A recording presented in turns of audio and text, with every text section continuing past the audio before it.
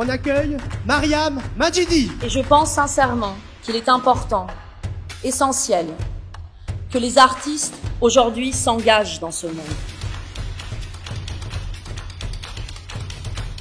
Elina Dumont et Sophia Ossini. Si j'ai accepté d'être sur la liste de Yann Brossard, c'est je connais ô combien le travail extraordinaire qu'il fait pour lutter pour que les gens ne soient plus sans abri. C'est la liste des ouvriers, c'est la liste des salariés, c'est la liste de ceux qui comptent à la fin du mois.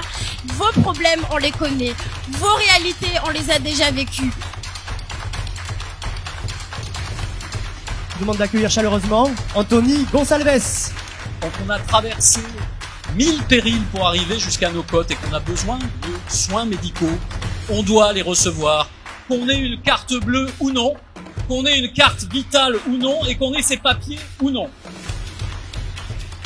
Marie-Hélène Bourlard Ce qu'il faut, c'est un SMIC européen, une sécurité sociale pour tout le monde. Il est en 9 position sur notre liste. Mesdames et messieurs, Benjamin Amar. La politique, elle doit être au service de l'intérêt général, de ceux qui vivent de leur travail ou de ceux qui sont privés de leur droit au travail.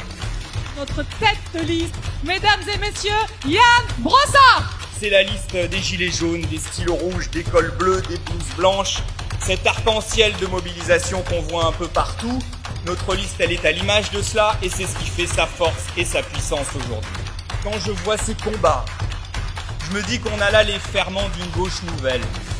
Je suis pas au, au PCF, j'ai 18 ans, euh, c'est les premières élections pour lesquelles je, je vais pouvoir voter et du coup c'était important pour moi de venir voir cette liste. Je suis assez euh, confiant dans, cette liste qui est aussi euh, très euh, diversifiée. Et, Yann Brossard, notre candidat, a été, a été extraordinaire je crois qu'on a, eu raison de lui faire confiance. Nous sommes nombreux derrière lui.